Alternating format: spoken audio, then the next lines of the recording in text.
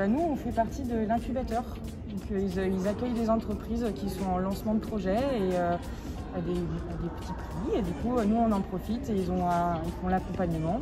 Et nous, on travaille du coup pour Nemes.